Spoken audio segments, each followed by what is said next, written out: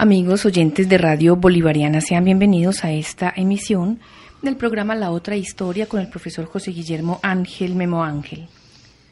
Memo, el tema de los indígenas está como teniendo mucho realce en este tiempo aquí en Colombia, porque en el Cauca, al sur del país, están, están muy rebotados. Ellos están pidiendo que, que ningún actor armado esté en sus territorios ancestrales. Ellos no quieren ni grupos revolucionarios armados, ni quieren tampoco a los grupos armados del país, eh, constitucionales. Tampoco quieren al ejército. Mucha gente ha dirimido su opinión, unos dicen que apoyan a los indígenas, otros dicen que no. Pero qué bueno saber esa otra historia de los indígenas, qué significado tienen para una sociedad, para la cultura y sobre todo para esta América Latina que tiene una base cultural y social tan fuerte en estas comunidades indígenas? A ver, ahí habría que empezar desde que aparece el término de salvaje, que es un término que se viene manejando desde los griegos, de quien es bárbaro, será bárbaro todo aquel que no hable la lengua que yo hablo, será salvaje todo aquel que tenga costumbres distintas a las mías, y con esos criterios van a llegar los españoles a América. Van a, ellos vienen de hacer una guerra de ocho siglos con los árabes, con los musulmanes, con los moros. Y en esa guerra, que dura tantos siglos en España, donde se configura pues la, la idiosincrasia española, el otro, o el que no está a un, a un bando o al otro, es alguien que está en el error. Esa pues ha sido uno de los componentes grandes de la gente que llega de España, la intolerancia. Si el otro no es como yo, es atacable.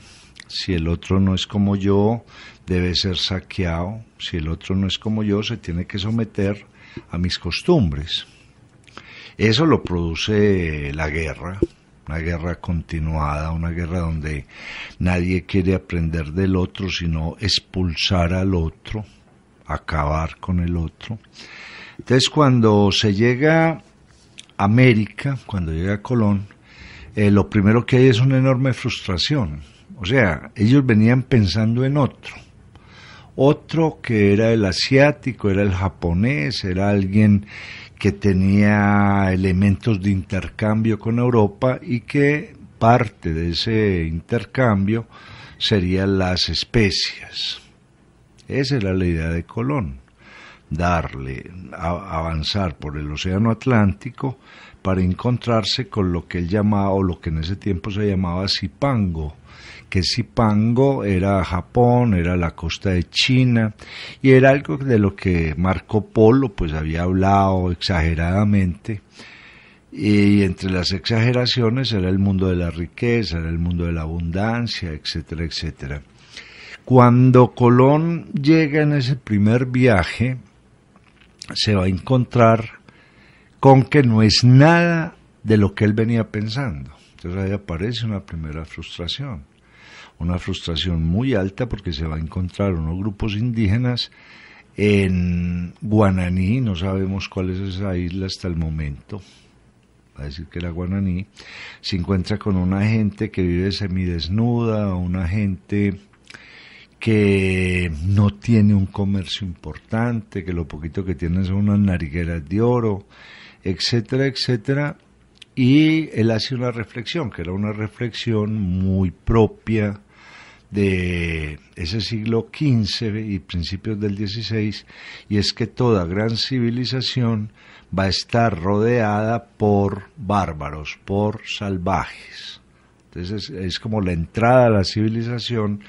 Eh, para entrar a la civilización hay que pasar por una especie de tártaro que llamaban los griegos, por una especie de infierno, y los seres que los habitan son seres deformes, seres eh, que se pueden inventar, etcétera, etcétera, y esa es una imaginería que va a durar más o menos hasta el siglo XVIII.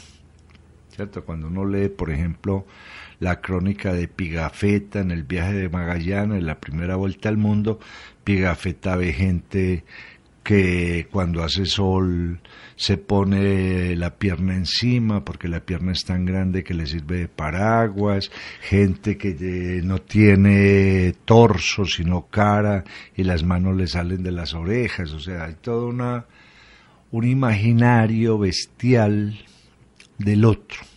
El otro hace parte de los bestiarios. O sea, es distinto a nosotros y como lo ven de lejos se lo imaginan como les da la gana.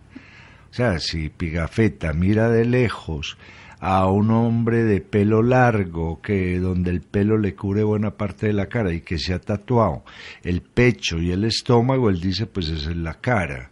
Y las orejas le tienen que salir más o menos, en las manos, los brazos les tienen que salir más o menos de las orejas. Y van creando unos bestiarios. Y estamos hablando pues de un hombre como Pigafetta, que era un hombre culto, un hombre que dominaba más o menos el asunto del renacimiento y que sigue viendo esos seres monstruosos. Por ejemplo, cuando llegan a la Patagonia, eh, van a decir son hombres con unos pies muy grandes, son tremendamente grandes. Eh, no caen en cuenta que es un hombre que vive en tierras muy frías y que se envuelve los pies con muchas pieles y claro, el pie se agranda al ser envuelto por algo, entonces por eso se llama la Patagonia, porque a los patones. O sea, los pies son, los pies son enormes, tal cosa, tal otra, y bueno, esto es todo un imaginario. Sin embargo, desde Colón, los aborígenes de América van a ser llamados los indios, que es una equivocación, porque él iba para las Indias. Iba para las Indias. Eh, como digo, eh, se, se encuentra con unos grupos desnudos. Algunos autores han dicho que si se hubiera equivocado un grado en la navegación, hubiera llegado a Yucatán. Y la historia había sido otra, porque hubiera encontrado gente vestida, gente que construía en piedra, gente que conocía el, el color, gente que tenía mercados, que es lo que después va a encontrar Hernán Cortés en México cuando Hernán Cortés llega a México y llega a la ciudad de Tenochtitlán, la ciudad de Tenochtitlán, para, a los ojos de Cortés, que es un hombre que conoce las ideas europeas, es la ciudad más avanzada del mundo, del mundo que conoce Cortés. ¿Cierto? Es una cosa tremenda, son un montón de casas. Él, él va a escribir un libro muy interesante que se llama Las cartas de relación a Carlos V y cuando uno lee las cartas de relación a Carlos V, ve el asombro de Cortés al ver las formas de gobierno, al ver los mercados, al ver etcétera, etcétera, etcétera, en todo ese mundo azteca. Entonces eh, llega Colón, la primera visión del aborigen, no, no del nativo, porque es que todos somos nativos, es más, todos somos indígenas cualquiera que nace en un lugar es indígena. Aborigen es el que tiene origen en ese lugar. Entonces eh, nosotros alegremente hablamos de los indígenas como si fueran los otros. Eso quiere decir que ni siquiera nos hemos situado en América, nos seguimos situando en Europa creemos que hemos nacido allá y por eso llamamos al de aquí indígena, no todo el que nace en un lugar es indígena, e indígena inglés, indígena francés, indígena alemán, pues para no tener que, meterse en tribus raras, no. Pero si aparece la palabra abo, origen, ab, origen, de origen en. Entonces los, los hombres que hay en América son los aborígenes, los aborígenes. Eso pues va a aclarar muchas cosas. Mm, Colón nunca logra conocer una civilización establecida en América, pero van a haber unos encuentros muy grandes entre Cortés y entre y Pizarro. Cortés se va a encontrar con la civilización azteca en México, una civilización muy grande, entre otras cosas, México se llama México por los indios méxicos, por eso se llama México. Y Pizarro se va a encontrar con el Perú, que es el imperio de los incas, obviamente, para no caer en idealismos, los aztecas estaban en guerra entre ellos mismos, unas guerras enormes y los incas también. Eso es lo que hace que Cortés llegue a México y se una con la Malinche, con una señora, el Nahuatl Malixin, mi señora, con una princesa que se va a llamar, la van a nombrar Doña Marina, él se convierte en la amante de Doña Marina, la que van a llamar la Malinche los españoles, y los ejércitos que logra eh, congregar la Malinche van a luchar contra los ejércitos de Tenochtitlán. O sea, entonces tampoco es que la, esto fuera un paraíso como lo propone Tomás Moro en la utopía. No, habían guerras, estaban peleando por el poder. Cuando Pizarro llega a Perú, hay una lucha muy grande entre el Cusco y Quito. Enorme, y eso le permite a él llegar con gente que quiere tumbar el gobierno del Cusco manejada por Pizarro. O si no, no hubieran llegado. O sea, es que es imposible que 600 hombres que llegan con, con Cortés vayan a vencer un imperio de millones de personas, ¿no? había una guerra civil en ese momento. ¿Y con Pizarro? Con Pizarro y con Cortés. O sea, los dos se encuentran en unos territorios en guerra civil. Ellos reconocen que llegan a grandes ciudades, eh, los cronistas que van con Pizarro van a hablar del Cusco, allí es una ciudad igual a las italianas, llena de estatuas organizadas, pero vienen a conquistar. Y para conquistar, para no darle estatus de igual al otro, lo vuelven un salvaje. Esa es una cuestión elemental, eso lo vemos hoy en día cuando los norteamericanos llegan a Irak, entonces los iraquíes son unos salvajes. No pueden tener el estatus de otro igual a al que llega. Este tipo de situaciones van a marcar a las comunidades aborígenes de América. Siempre están por debajo, por avanzadas que podían estar. Porque, por ejemplo, eh, me acuerdo yo de un cronista, Bernardino de Sahagún, que escribe la historia, una de las crónicas más lindas sobre México, donde Sahagún investiga, investiga la, la, comida, investiga la medicina, investiga la industria, y él es completamente fascinado con todo lo que logra ver, porque ve que en muchos sentidos los de América llegan a estar, si no igual, a Europa, superiores a Europa. Y aquí, por ejemplo, para venir más cerca, en la crónica de Pedro Ciesa de León, la crónica del Perú, que comienza en Santa Fe de Antioquia, cuando los españoles pasan por la tierra del cacique Notivara, por los nutaves, no los atacan, negocian con ellos, porque los nutaves tejen, los nutaves tienen casas de piedra, los nutaves comercian con sal, y se van a demorar mucho en luchar con ellos, porque van a haber unas sociedades muy parecidas a las europeas. Pero queda el estatus, el, que invade va a establecer el estatus del otro en condiciones de inferioridad. El otro es inferior. Y ahí es donde viene un hombre que se llama Juan Ginés de Sepúlveda, que escribe un texto que se llama Las guerras contra los indios, justificando las guerras contra los indios, fundamentado en Aristóteles. Claro, en las tesis que tenía Aristóteles sobre la esclavitud.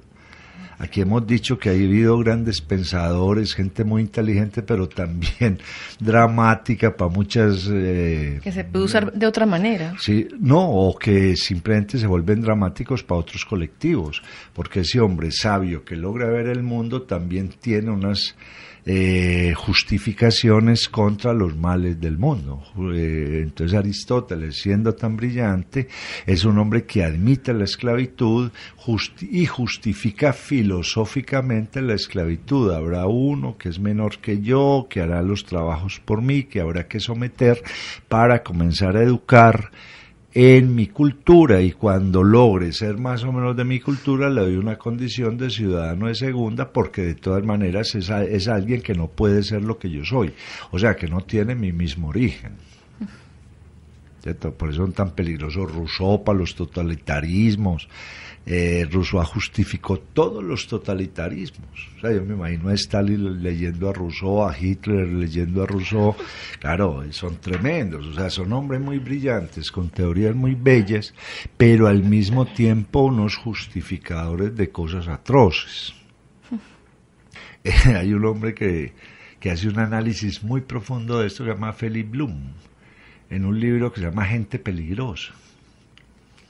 Y empieza pues el análisis de Rousseau y de todo esto, a de filósofos que nosotros adoramos, pero que no hemos visto las consecuencias de ese pensamiento que ellos han expuesto mm. y que justifican totalitarismo, la esclavitud, etcétera. Y eso es lo que hace Ginés, eh, Juan Ginés de Sepúlveda. Justifica lo que se llama la guerra justa, la jus belli les vamos a hacer la guerra, los vamos a acabar, los vamos a someter, los vamos a esclavizar para imponerles nuestra cultura, porque consideramos que nuestra cultura es mejor que la de, que la de ellos y que ellos se van a civilizar con nosotros. Eso pues sigue siendo muy discutible si hay una cultura superior a otra, porque de todas maneras la cultura es la forma que tiene el hombre o un pequeño colectivo de entender el mundo y de vivir en el mundo.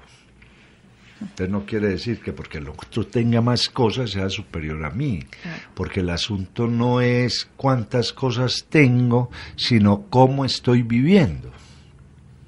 Hay gente que de pronto no tiene mil cosas, pero viven mejor que nosotros. Pero ahí no, estaríamos hablando tanto de lo que se tiene en cantidad, sino por ejemplo de ciertas prácticas sociales y culturales que como no son iguales a las nuestras, entonces son descalificadas. Verbigracia darle 10 latigazos a unos señores que porque estaban involucrados en no sé qué. Claro, eso es una forma de sometimiento al otro que lo, explica muy bien eh, Michel Foucault en un libro que se llama Vigilar y Castigar cómo sometemos al otro, cómo obligamos al otro a que trate de ser como yo. Yo siempre he pensado, por ejemplo, que en un país como Colombia, donde los sometimientos han sido permanentes desde, desde los días de la independencia y antes, eh, ¿por qué nosotros eh, queremos ser de otra parte? ¿Por qué nuestros pensadores tienen que ser de otra parte? ¿Por qué no nos reconocemos en nosotros mismos? Es una cosa muy interesante, lo que quiere decir que han castigado mucho a los latinoamericanos para que quieran ser franceses, para que quieran ser ingleses, para que quieran ser norteamericanos, o en última instancia, como dice algún autor, para que quieran ser mexicanos. ¿Cierto? Ya puedes ver, pero algo está pasando, indiscutiblemente. Entonces se va a entrar a un sometimiento grande, violento, del nativo, porque hay que esclavizarlo. Y parte del botín de la conquista es llevar esclavos. Entre otras cosas hay algo que le para los pelos a los españoles.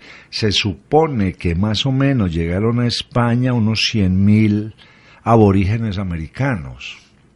Llegaron allá, se mezclaron allá Sí, porque eran más bonitos que los españoles. Los españoles no tenían dientes, estaban completamente envejecidos, se les caía el pelo. Al aborigen americano no se le caía el pelo. De hecho, hay uno de esos mestizos indios que llegó allá, que se hace famoso, o sea que llega a ser una familia de las principales, que se llama el Inca Garcilaso de la Vega, que hace parte del siglo de oro español. Pues estamos hablando del siglo XVI, XVII. Y el Inca Garcilaso de la Vega no fue que de buena lo escogieron entre todos, no, todos llevaban. Y todos llevaban sus hijos. Hay un personaje que se estudia mucho en esos siglos que es el indiano. El que estuvo en las Indias, consiguió dinero y se devolvió. Pero muchos se devolvían con su mujer india y se devolvían con sus hijos mestizos. ¿Por qué? Porque los querían, porque habían configurado sociedad, eh, una vida en común. De hecho, pues yo me acuerdo, alguna vez yo escribí un libro que era Las Expediciones Fantásticas, un fascículo para el CINEP, y me acuerdo que encontraba mucho dato muy particular, los españoles que se volvían indios. O sea, se quedaban viviendo en las vivían mejor que en España. Y ahí se volvían, se casaban, eh, guerrea- guerreaban con ellos, construían, pescaban, hacían un montón de cosas. Y eso llegaba a un punto que se les olvidaba la lengua. Entonces, ¿cómo rescatar a esos españoles indios? Y tenían que empezar por algo que era Santa María. Era lo único que se acordaban en español. Ya habían perdido la lengua, pero como las oraciones cuando uno está chiquito nunca se le olvidan. Ah, Santa María, y el otro, sí, Santa María. Entonces este es uno, es de uno de los españoles indios. sí, claro, hay uno que es famoso, completamente famoso, que va a escribir una crónica que se llama Naufragios, que se llama eh, Cabeza de Vaca. Claro, cuando uno lee la crónica de Cabeza de Vaca, es tremenda, se había vuelto indio. Es que ahí, hay un cuento que es, que es tremendo. Entonces, eh, volviendo a esto en términos políticos, el imperio español había, era un imperio que se fue construyendo sobre el despojo a los naturales porque eh, para crear un imperio en ese momento se seguían más o menos los métodos de los romanos y era entender que al otro lo invadía y le quitaba lo que tenía y lo sometía y lo esclavizaba porque era un salvaje. O sea, era alguien que no pertenecía a mi cultura y se desconocía toda la cultura. Eran bárbaros, pues. Sí, claro, eran bárbaros. Bárbaros. Y, es- y con eso se, justi- se justifican todavía mucho tipo de invasiones. Eh, hay un, un monje, el padre de las casas, un fraile, que cree- escribe un libro que se llama La brevísima destrucción de, India, de las Indias, donde él denuncia eso. O sea, muchos de los que llegaron a América muchos de esos españoles no los podemos tener como, como unos bestias, no, no, había gente también muy inteligente. Y buena parte de esa gente va a llegar a observar, a mirar, a ver cómo vienen estas comunidades y entre ellos el padre de las casas, que es el que hace la primera biografía de Colón y a él se debe pues mucho del conocimiento de Colón que hoy en día tenemos, empieza una gran defensa de los indios. A ver, los indios eh, primero los van a cristianizar y van a ser unas sociedades, una especie de, de sociedades, unas comanditas, donde el que los cristianiza se apodera del trabajo que pueden realizar los indios. Entonces muchos españoles de los que llegan eh, esclavizan a los indios en nombre de que les estoy enseñando el catecismo. Vean por unas cosas terribles, porque ahí hay que ver varias situaciones. Primero, el español que llega no es un hombre culto, es un guerrero. O sea, culto no es. La cultura es de élites y las élites no vienen a América. Por ejemplo, eh, nunca ningún rey español pisó América. O sea, eran emperadores de algo que no conocían. O sea, creían en los datos que les llevaban. Entonces les decían, son un montón de salvajes, entonces en la corte decían, pues sométalos. Como nunca vino, Claro. aquí enviaban visitadores que venían a ver cómo estaba la situación. Y después mandaban corregidores para que corrigieran la situación. Pero tanto visitadores como corregidores los sobornaban. O sea, usted vino, vio esto, pero no vio nada. ¿Cuánto vale? Y el corregidor hacía más o menos lo mismo. ¿Cierto? Usted viene, corrige las leyes, no hay problema, aquí hay que corregir. ¿Cuánto vale que para que usted diga que hay que corregir dos y no cien cosas? Entonces dos y tome su platica. Y ambos eran, digamos que de corte guerrero, más que... Sí, en- porque en- es que España se hizo en la guerra. Es que eso es lo que hay que entender. España es un territorio, por eso nosotros los que hablamos castellano somos tan vulgares, tan groseros, porque nosotros tenemos lengua militar, lengua de castellanos.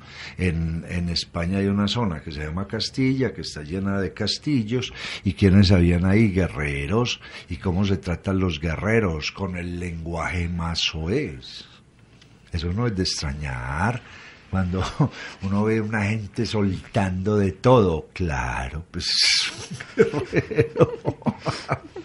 ¿cierto? Es que allá hay cualquier cantidad de cosas. España sí hace la guerra eh, contra los moros, después va a ser la guerra, las, se van a meter en las guerras de Flandes, en las guerras en, en todo. Y claro, aquí llega un montón de guerreros. Ah. Ahora, ¿eso es bueno o malo? No era lo que había. Pues que también el mundo hay que entenderlo. Entonces no puedo mirar esa situación desde el siglo XXI, yo la tengo que mirar desde el siglo XVI, XVII, pues el mismo Cervantes fue guerrero, fue pirata, le tumbaron una mano en una batalla, etcétera, eso era parte de la vida. Yo me acuerdo leyendo un escritor español que es muy, muy charro, se llama Arturo Pérez Reverte, hablando, por ejemplo, de Quevedo. Quevedo era puñalero y las peleas de Quevedo con un, atracando a otros en Madrid, de todo, era peligrosísimo, uno de los grandes poetas de la, de la lengua castellana. O sea, todo eso hay que entenderlo, ¿cierto? En el mundo en el que, en el que vivían. Y, y ese mundo se viene para acá. Y ninguno de esos que alternara la pluma con el fusil nos tocó a nosotros. No, sí, claro, cantidades. Por ejemplo, un hombre que va a escribir el antijobio que se llama Gonzalo Jiménez de Quesada. O no, llegan, o sea, son guerreros, pero al mismo tiempo hay unos que son cultos, los mismos cronistas. O sea, el cronista no era que iba detrás del conquistador tomando nota, ¿no? También se agarraba a matar y a quemar y a saquear. Y después se sentaba a escribir. No, escribía la crónica. Sí, sí, claro. Entonces, desde ese punto de vista, el indígena fue siempre manejado en América como un otro en estado salvaje. ¿Por qué? Porque no solamente había que someterlo, sino que había que apropiar, quitarle la tierra como parte del sometimiento, como un vencido. Y ahí empiezan pues todos los problemas que hemos tenido nosotros con nuestros grupos indígenas. El primero es que los que no se someten se van a las montañas, a las selvas, se esconden ahí, son muy difíciles de encontrar y siguen manejando su cultura ancestral. O sea, unos señores se metieron, eh, eh, por decir cualquier cosa, se metieron al Darién, esas son selvas muy difíciles de, que llegue el hombre blanco y allá sobrevivieron con sus costumbres ancestrales. Cuando ya los empiezan a encontrar, la diferencia es tremendamente grande. Esta gente que se refugia en la selva no ha podido avanzar al mismo ritmo de los que están avanzando en el territorio colonizado. Claro, empieza ese problema. Entonces siempre se va a marcar una enorme diferencia. Y además de eso, se va a presentar un problema que es el problema de los resguardos. O sea, unos sitios donde llevan comunidades indígenas, pero que en América y obviamente en Colombia y todos estos países, el resguardo era un sitio donde llegaban comunidades indígenas, pero de distintas etnias, o sea, ninguno hablaba la lengua del otro. Y a partir de ahí no tienen otra opción que hablar castellano, o sea, les quitan la cultura. Y ahí se y una vez apare, esos hombres del resguardo que ya no tienen cultura, que ya no tienen lengua, que sobreviven de cualquier manera, van a digamos que a configurar las clases más bajas de la sociedad. Eso es aplicarle un romanazo. O sea, los romanos tenían claro, era una capa inferior de la sociedad aquel que no conocía el origen, aquel que no manejaba bien su lengua, aquel que de alguna forma no sabía explicar bien cuál era su mito fundacional. Por eso aparecen después los plebeyos y aparecen después los esclavos, etcétera. Ese es el modelo de Roma, un modelo de Roma traído a América. Eh, aquí vale la pena notar, en la medida en que uno va perdiendo la lengua, va, y va perdiendo su propia historia, se convierte en un animalito que va por el mundo. Los animales no saben su historia, ni logran configurar más que gruñidos o cosas por el estilo. Eh, alguien decía, hombre, ¿por qué nosotros nos cuesta tanto aprender idiomas? Porque la lengua materna no la manejamos, porque tenemos una base lingüística tremendamente pobre. Y cuando enfrentamos otro idioma que viene enriquecido, no logramos entender esas formas. ¿Y pobre en qué sentido? Pobre en el sentido de que no conocemos palabras, que hay un montón de palabras que no sabemos qué quieren decir. Nuestro léxico es muy, reducido, no porque la lengua sea reducida en su léxico, sino, porque nosotros no las conocemos. Claro, porque la gente está hablando lo mínimo y, y, va a tratar de aprender un idioma y ese idioma llega con cualquier cantidad de formas lingüísticas que al otro le dan mucha brega entender. O sea, usted quiere aprender cualquier idioma, domine su propio idioma. Ahí no hay ningún problema. Esto se configura así, esto se configura. Pero si usted habla mal, va a aprender otro idioma, aprende ese idioma mal, no logra dominarlo. Ese es uno de los problemas que hay ahora, porque la gente no, después de 6, 7, 8 años de inglés, no habla inglés. Es que eso sería imposible, porque la base lingüística que se estaba manejando es horrorosa, es completamente horrorosa. es una forma de hacer clases inferiores. es así de simple. Entonces van, a empezar, aparece el resguardo y algo que va a suceder en América y en toda América, y es que los grupos americanos, los aborígenes americanos, los que nosotros llamamos indios, nunca están presentes en la independencia, sino que luchan al lado de los contraindependientes. Claro, eso fue lo que pasó en los Estados Unidos. Quienes lucharon al lado de los ingleses contra los colonos norteamericanos, los pieles rojas, hacían parte del ejército inglés. Ah. Y en, América, y en América también va a suceder eso. Entonces, a partir de las independencias, los grupos indígenas van a ser tenidos ya no como salvajes, sino como enemigos, porque lucharon al lado del bando del otro. Claro. Eso, por ejemplo, va a llevar que los Estados Unidos se lleve a cabo una guerra contra los indios tremenda, eh, que se termina en 1890 donde ya prácticamente quedan pequeños grupitos, no, ni siquiera diezmados, porque diezmados implica coger un diez y matar uno, eso es diezmar. Entonces aquí quedan, es, pues, destruidos, quedará uno por cada doscientos cosas por el estilo. Entonces hacen parte ya del enemigo. Entonces hay tres categorías. El enemigo porque luchó al lado del otro. El salvaje porque no se parece a mí. Y el otro que es la capa inferior de la sociedad.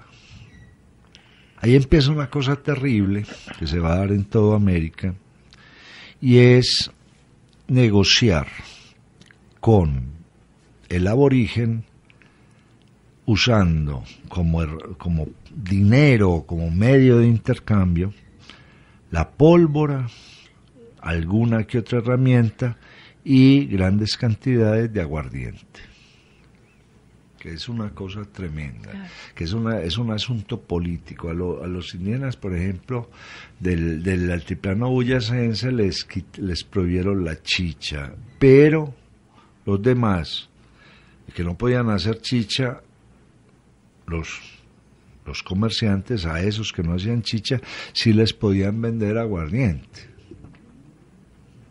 o cerveza.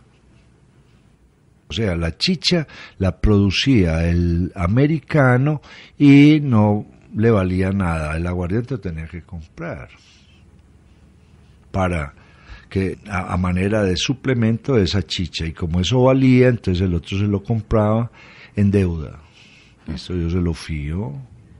Y a partir de ahí usted me tiene que trabajar para pagar. Le, vendían el aguardiente, pero no le dejaban producir su propia chicha. Sí, sí, claro. Por eso después van a ver un montón de alambiques escondidos y cosas por el estilo.